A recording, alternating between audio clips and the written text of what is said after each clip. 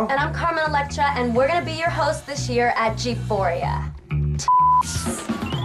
G4ia, the award show for gamers, with special guests Aisha Tyler, Tony Hawk, and Anna Nicole Smith.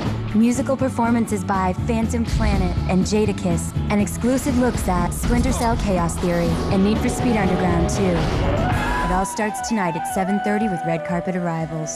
G4ia, presented by EB Games and Jeep. Stay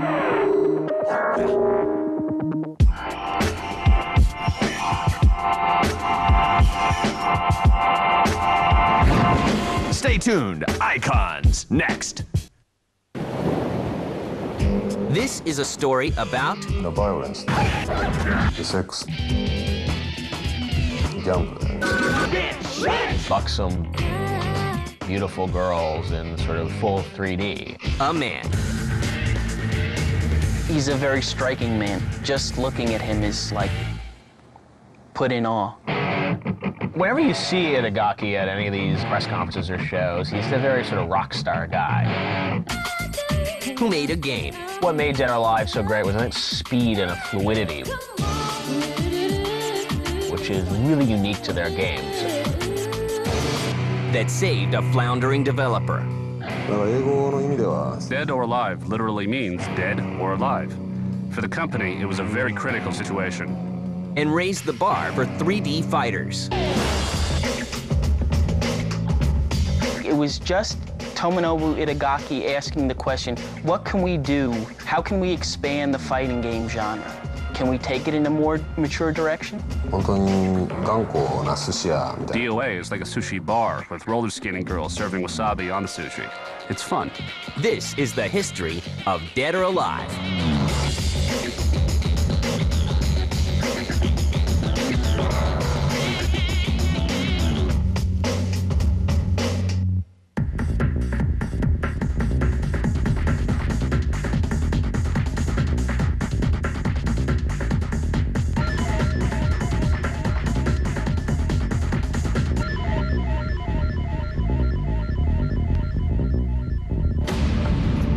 Growing up in Japan, Tomonobu Itagaki knows exactly what he wants to do when he grows up. Well, like everybody else, I entered the game industry because I wanted to make video games. His wish comes true in 1992. I had no idea which company would be good for me, so I didn't care if I worked for Tecmo or Sega.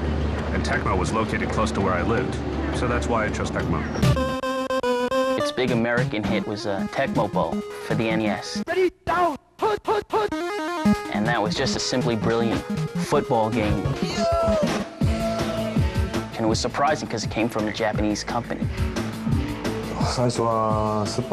I worked as a graphic programmer for the Super Famicom in my early days at Tecmo. Itagaki's first project is Tecmo Super Bowl for the Super Nintendo.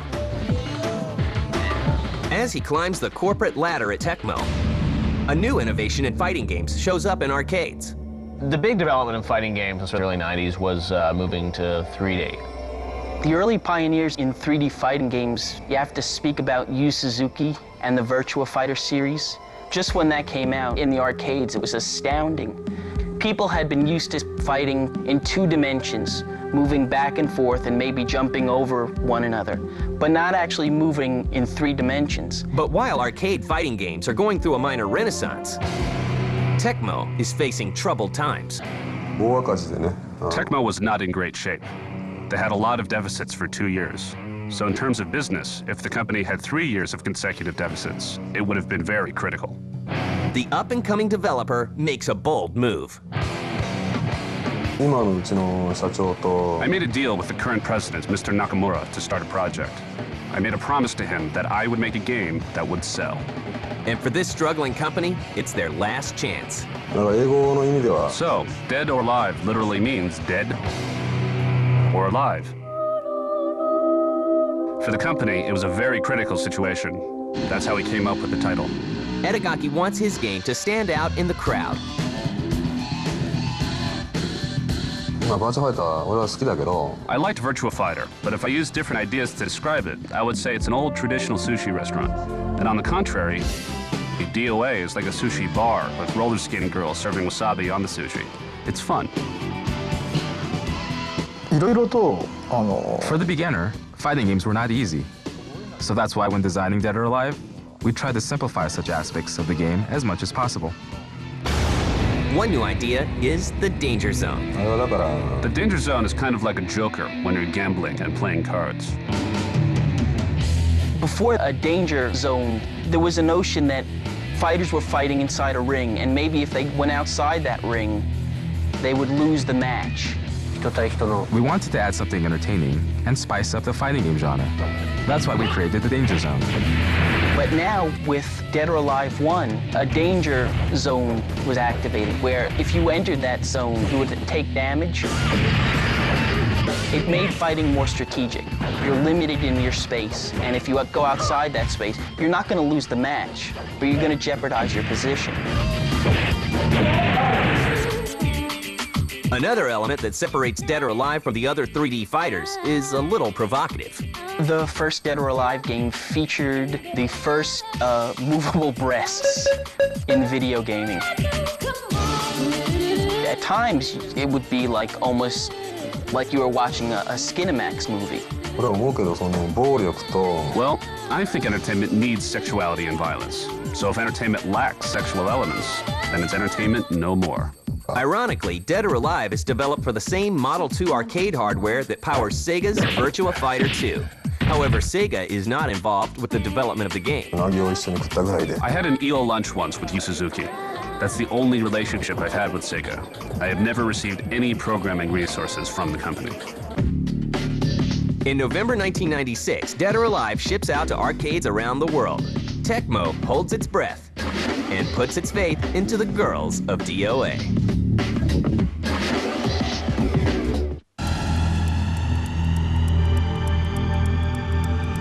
It's November 1996, and Dead or Alive has just shipped off to arcades. The game is one of Tecmo's last gambles to stay in business, and it hits the jackpot. The first Dead or Alive did very well in terms of sales. It was certainly a very good game to play. Well, Mr. Nakamura was very happy about the success of DOA, so other Tecmo games could be created and sold. The previous year, Tecmo posted a loss of $5.2 million, but in 1996, Tecmo pulls in a profit of $9.2 million, thanks in part to Dead or Alive. What made Dead or Alive so great was like there's a all of Tecmo's games have a speed and a fluidity which is really unique to their games. There's just a, an amazing sense of control about the game. I'm different from the other game designers because I work to win. So my way of thinking is much different from the others. Work begins on home versions of Dead or Alive, as well as a sequel. To get the job done, Itagaki creates his own development team made up of the best of the best from Tecmo. It was reasonable to establish a brand because at the time, Tecmo was not releasing a lot of games. That's why we were trying to create a new brand, and that's why Team Ninja was created, to give Tecmo an identity. Team Ninja members all have certain levels of skills. Compared to other development companies, ours is much higher, it's easy to work with such highly skilled people. Team Ninja is a, is a mystery. Tomonobu Itagaki really likes Team Ninja to be sort of like ninja-like in the way it handles itself. Itagaki doesn't let people inside it. Very few people ever get to see the inner workings of Team Ninja. He's not very active in speaking about its history.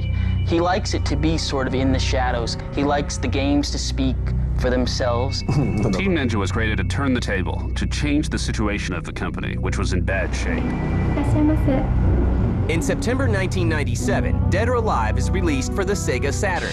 It comes to the PlayStation one year later. Dead or Alive was remarkable because it really did 3D fighting well on the PlayStation and on the Saturn. And those systems were just beginning to find themselves in terms of three-dimensional fighters. The developers were sort of struggling, like how do we get to push all these polygons and to still make a good, smooth fighting? Dead or Alive was one of the first ones to actually do it very, very well on a home console. In 1999, Dead or Alive 2 hits arcades. Dead or Alive 2 improved on the original in a lot of ways. Beyond the graphics, the amount of move sets available for the characters expanded greatly. Each character has their own separate story. When I started making the game, there wasn't a lot of characters involved in games like Street Fighter. So back then, characters only meant the difference in one's costume. So when I designed the characters, I put a lot of concentration into each one's voice, taste, and attitude. I designed characters based on their personality.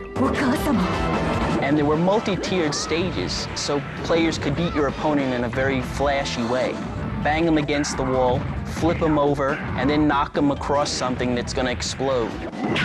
You could knock a character through a wall, over like a cliff, and they would actually plummet and take damage. It's a really neat way to expand the genre. In early 2000, a home version of Dead or Alive 2 comes out for the Dreamcast. PS2 owners have to wait until December of that year to finally get a copy of the hot sequel. Get ready, fight! The differences between the Dreamcast Dead or Alive 2 and the PlayStation 2 version, which was subtitled Hardcore, there were a lot of different lighting effects. In fact, a lot of people complain that the lighting effects were overdone. There was an over brightening effect that made everything look sort of bleached out to the point where you actually lost some of the really sharp, striking coloring that was seen in the Dreamcast version. There were new costumes added and a lot of graphical fineries done for the PlayStation 2, which was supposedly a marked increase over the Dreamcast version. But basically, the two games in their core were identical. Dead or Alive 2 brings in more than $2 million in sales. Plans for Dead or Alive 3 begin, but what Team Ninja has in mind is a radical departure.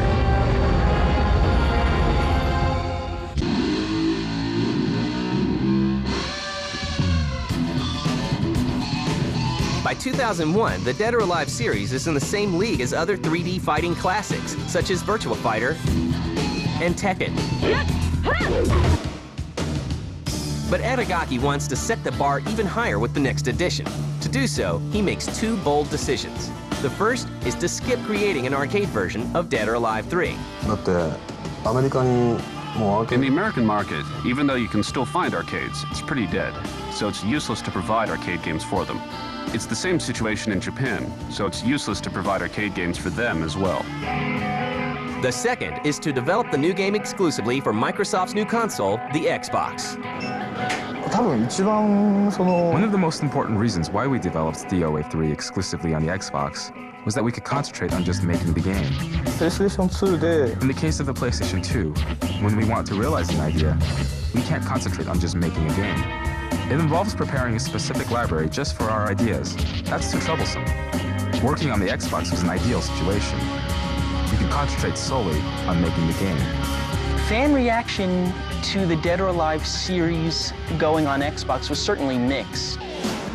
Tomonobu Itagaki made a conscious decision to take Dead or Alive to Xbox. A lot of fans were disappointed by that, but a lot of Xbox fans were ecstatic. It's a very good series and it's now exclusive to Xbox. まずなんでね XBOX にしたのか I didn't think choosing to develop exclusively on the Xbox was a big gamble, because comparing the machine specifications to systems like the PS2, Xbox was much higher. I make my games to win.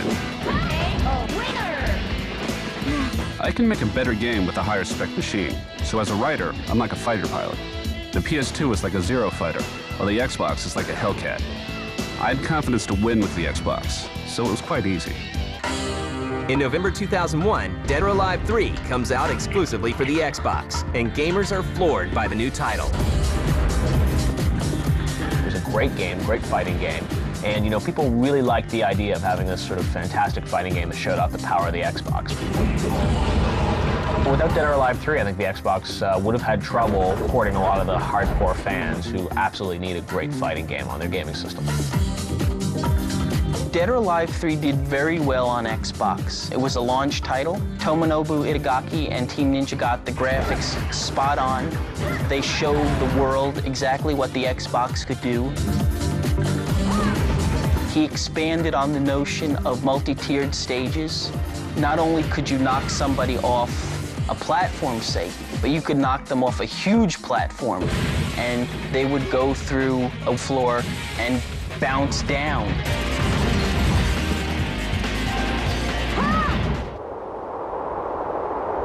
The environments were absolutely amazing and beautiful. There were really picturesque environments I don't think could be rendered on any other gaming system.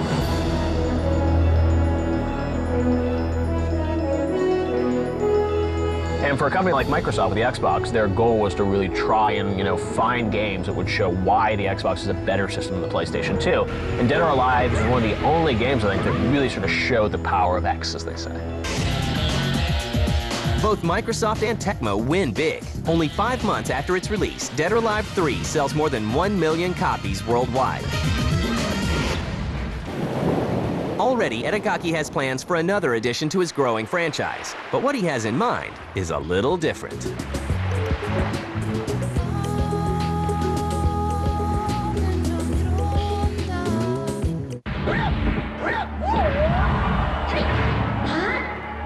It's 2003. Dead or Alive 3 is a hit. And Team Ninja starts work on a new game which has been on Itagaki's mind since Dead or Alive 2. When I was developing DOA 2, fans requested that we add beach volleyball as a minigame, because other fighting games had similar minigames. Itagaki has a very playful nature. He had an idea. What if these women were on an island and they had two weeks to have a lot of fun and play some volleyball. You know, maybe from just a simple daydream, you know, a, a whole video game emerged. But I didn't want to put this very simple idea into my series. So when I made the beach volleyball game, I wanted it to be a standalone title. In January 2003, Itagaki's self-proclaimed gift to gamers is released in the form of Dead or Alive Extreme Beach Volleyball. One of the hallmarks of the Dead or Alive franchise has been these buxom, beautiful girls in full 3D. That's like what people associate with Dead or Alive, or these, you know, kind of completely over-the-top girls that Itagaki really prizes himself on creating these sort of amazing babes. I'm creating entertainment rather than just a video game. So in terms of entertainment, it's quite natural for me to create beautiful women. It makes sense rather than bringing ugly women into the game. It's very simple, naturally. While the new game already shows off plenty of skin, it's not enough for some gamers. In fact, I find the nude hacks irritating. If they're so talented at doing such things, why don't they use their skills for something more meaningful? So when you see a girl in DOA, I can understand why one would want to undress her. But if you do so, you really should be embarrassed. And it's the eye candy that gets Tecmo into trouble at 2003's E3. People flock to see women in bikinis, and Tecmo knows this.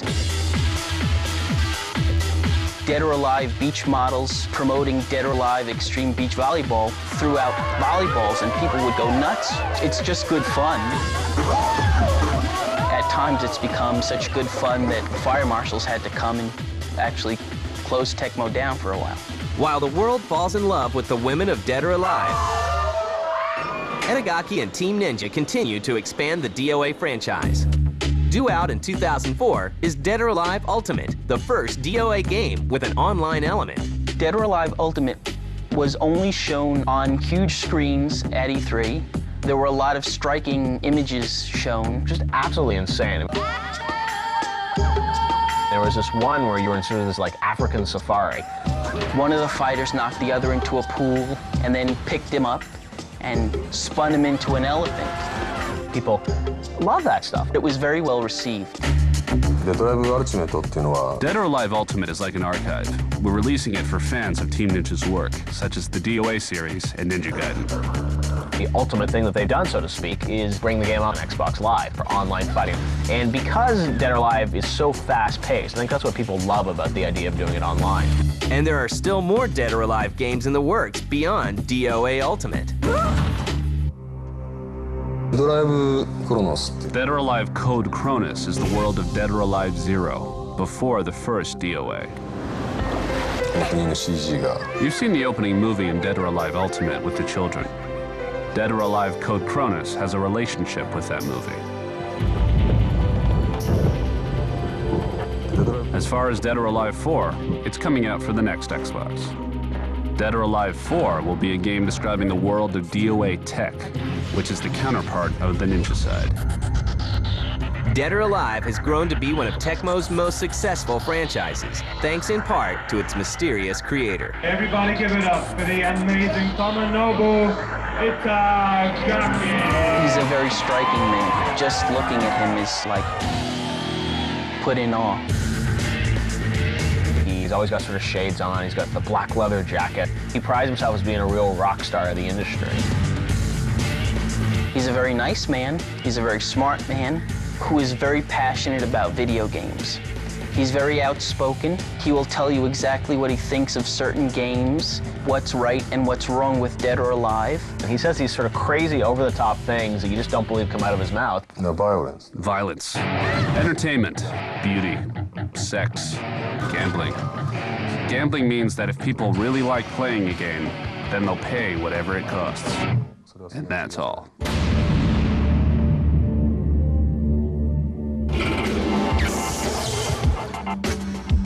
And I'm Carmen Electra, and we're gonna be your host this year at G4ia.